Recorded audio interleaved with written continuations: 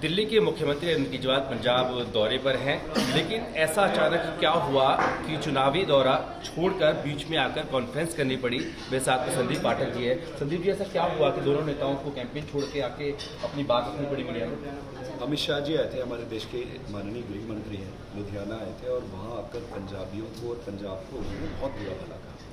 वो ये कहते हैं कि वो धमकी दे के जाते हैं कि भाई, चुनाव के बाद मैं सरकार तोड़ दूँगा और ये सरकार तोड़ देंगे। हम प्रश्न पूछना चाहते हैं कि भाई आप कैसे तोड़ोगे? बयानबे सीट है आम आदमी पार्टी के पास बयानबे एमएलए है। आप क्या एमएलए की खरीदी बिक्री करोगे?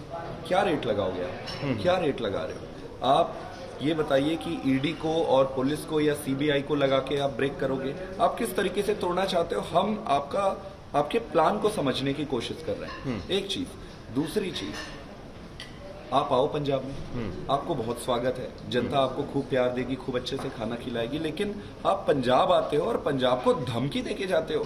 पंजाब की जनता को आप प्यार से जीत सकते हो। धमकी दे के कुछ नहीं मिलने वाला है यहाँ पे। हमारे किसान जब बॉर्डर पे जाते हैं किसान जब बॉर्डर पे जाते हैं तो आप गोलियाँ चलवाते हो। लेकिन सर ये बताइए तो एक आम आदमी पार्टी के नेता पर उन्होंने बयान दिया है ना आप इसे पंजाब की अस्मिता से जोड़ रहे हो क्या इमोशन को इनकेश कराने की कोशिश नहीं आम आदमी पार्टी का वो नेता नहीं है वो पंजाब का मुख्यमंत्री है तीन करोड़ जनता ने उन्हें वो एक माध्यम है वो एक मीडियम है भगवंत मान कोई इंडिविजुअल नहीं है वो मुख्यमंत्री है यहाँ के। तो वो और मुख्यमंत्री किसके है? जनता के हम्म। और जो ये कहा गया है कि पंजाब की राजनीति में नक्सल की छाप है अरविंद नक्सल की उस पर क्या कहेंगे उस पर मैं इनको कहना चाहूँगा कि ये फर्जी और फालतू चीज़ें चलती नहीं है। जनता देख रही है काम करो काम पे वोट मांगो।